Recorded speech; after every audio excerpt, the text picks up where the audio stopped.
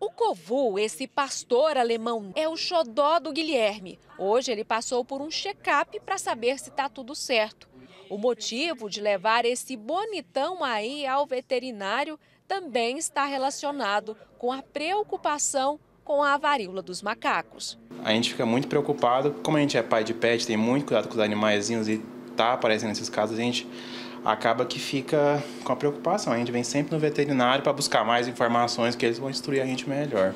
Pelo menos três casos de varíola dos macacos em cães foram registrados. Um na França, outro nos Estados Unidos e o último que se tem relato em Juiz de Fora, Minas Gerais. No caso do Brasil, o tutor do cachorro estava doente e continuou tendo contato com o animal sem nenhum tipo de restrição. Poucos dias depois, ao dar um banho nele, viu o corpo tomado por bolinhas como se fossem espinhas. Ele ainda demorou para procurar um veterinário, porque não sabia que poderia ter acontecido esse tipo de transmissão.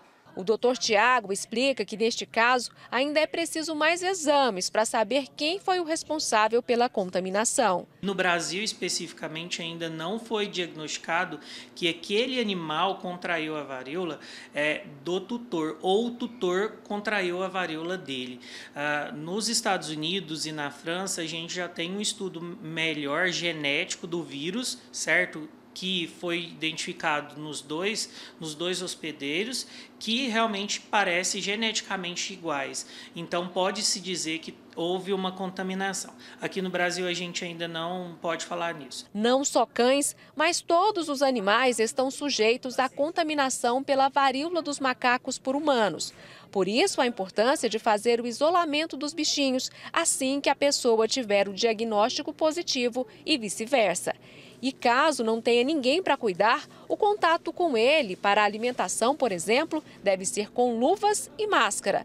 Os sintomas nos pets não são diferentes. A gente vai ter algumas lesões de pele, gânglios aumentados, talvez uma febre, um animal mais apático e, e mais triste. Ainda não há relatos de mortes de animais de estimação por causa da varíola dos macacos. Notícia mesmo só da ignorância humana. Portanto, não se deve matar ou abandonar. Não é um caso da gente ficar preocupado pensando que tem que deixar o animal fora de casa ou que a gente tem que abandonar, o animal por conta dessa doença. Não é assim, não significa que nós vamos começar a ter a varíola devido aos animais, os, os cães e gatos que vivem conosco.